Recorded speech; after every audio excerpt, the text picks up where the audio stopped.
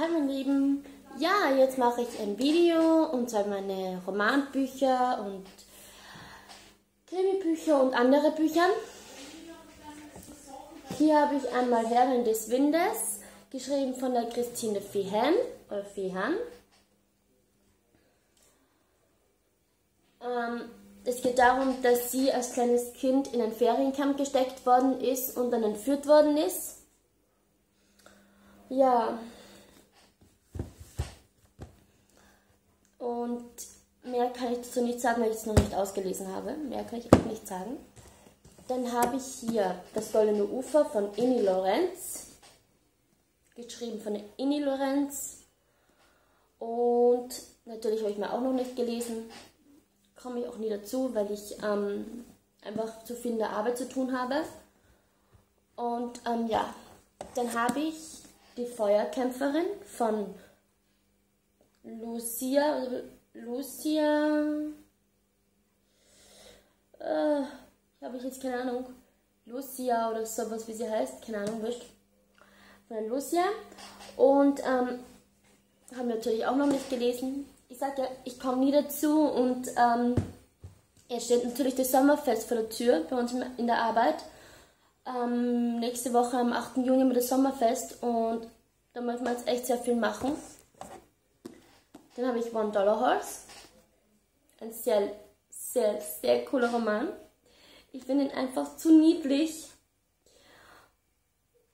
Und sie möchte dieses Pferd retten, weil es angeblich zu einem Schlachthof gehören sollte. Und ja, ich hoffe, dieses Buch wird nicht ganz traurig werden. Und dann habe ich Der Lavendelgarten von der Lucinda Rayleigh. Ähm, den habe ich schon ein bisschen gelesen, aber nicht ganz.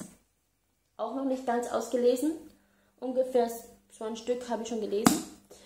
Und ähm, ich finde ihn einfach toll. Es geht um eine Emily de Marantienes, die in einem ähm, kleinen Schloss aufgewachsen ist. Und ähm, sie hat auch einen Bruder namens äh, Chacayo.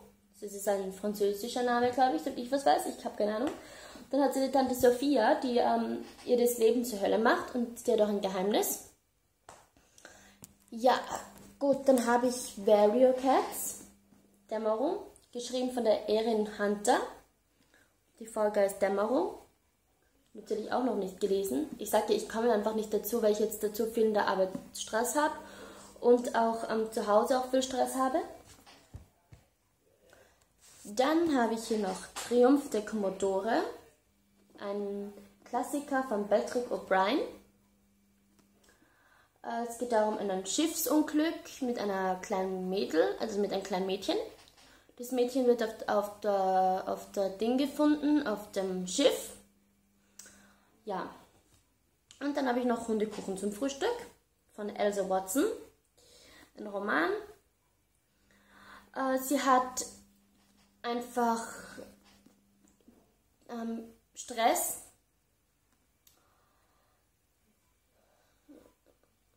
Und ein Geschäft steht vor der Pleite und Jack Sicker ist völlig verzweifelt, dass dieses Geschäft zu Boden geht, also zugrunde geht. Das war's auch schon wieder mit meinen Büchersammlungen und wir sehen uns bald mit meinen neuen Sailor Moon Sammlungen. Hoffentlich dieses Wochenende noch. Und ja, wir sehen uns. Tschüss!